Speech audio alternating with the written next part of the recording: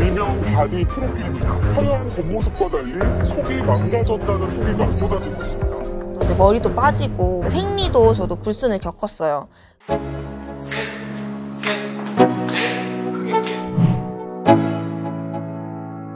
Let's go. Yo.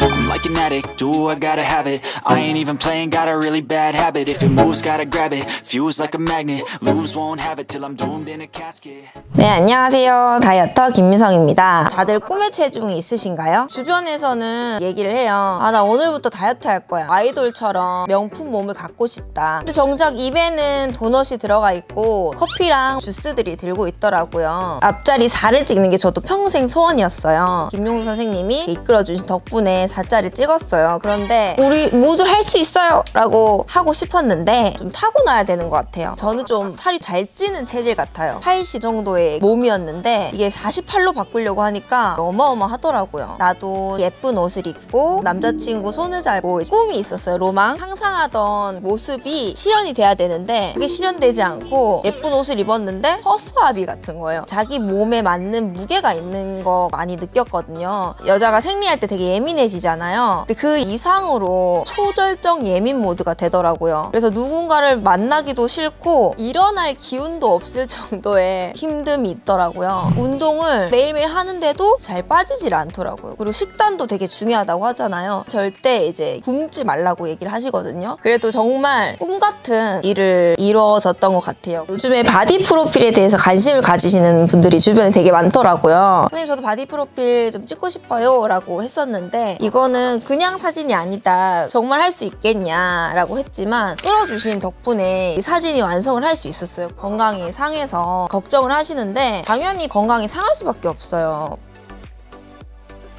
멋진 몸을 만들기 위해서 지방을 빼내야 되는데 음식을 좀 줄이게 되고 영양분이 또 부족하다 보면 머리도 빠지고 운동도 좀 무리가 될 수가 있고 생리도 저도 불순을 겪었어요. 건강이 안 좋아지는 거는 저도 느꼈어요. 그렇기 때문에 자기의 욕심이기 때문에 스스로 선택하는 것 같아요. 갑자기 무리하게 하지 마시고 조금씩 장기간으로 준비하면은 그렇게 큰 무리는 되지 않을 거라고 저는 생각을 합니다. 추천을 해주고 싶은 거는 내가 정말 만족하는 그런 몸을 만들었으면 좋겠어요. 여러분들도 함께 건강한 다이어트 했으면 좋겠습니다.